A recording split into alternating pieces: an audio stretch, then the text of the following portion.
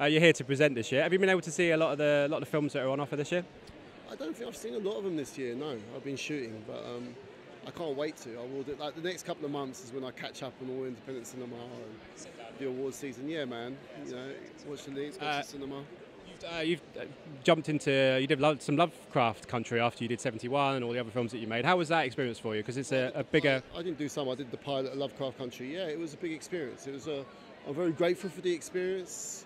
You know, Are you working with Riz now? Is that correct? Is that is that is that something that's happening? Is it on the back burner or how's that going? Well, Riz is one of my dear friends. He's one of my best friends, like for two decades now. That's why I'm here to present him with the Richard Harris Award.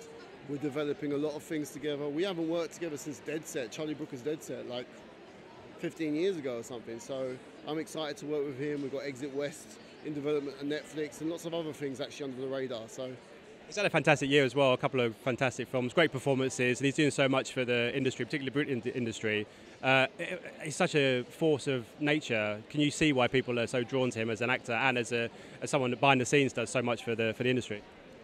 Uh, yes, I can see why people are drawn to Riz. I mean, he's one of my best friends. He's like a searing, important voice.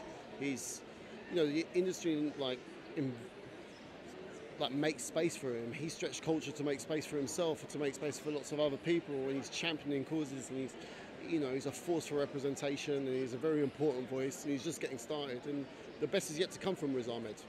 And Biff is such a great platform. I mean, there's so many movies out there. There's a congestion of movies from last year, these big blockbusters. How important for you as a filmmaker, but also in general for BIFA to, to give a voice to all of these films that are struggling for, for oxygen and for screens in amongst so many films these days?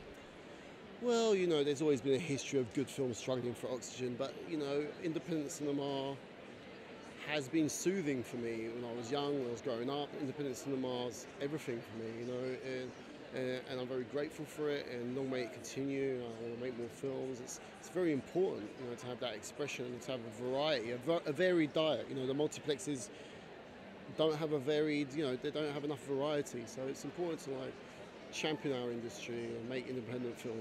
Independent cinema has never been more important, especially with everything that's going on in the world. We need our voices heard. Ladies and gentlemen, you're watching HeyUGuys! Hey, you guys, huh? Hey, you guys. Is that from the Goonies? It is indeed, yeah. Nice.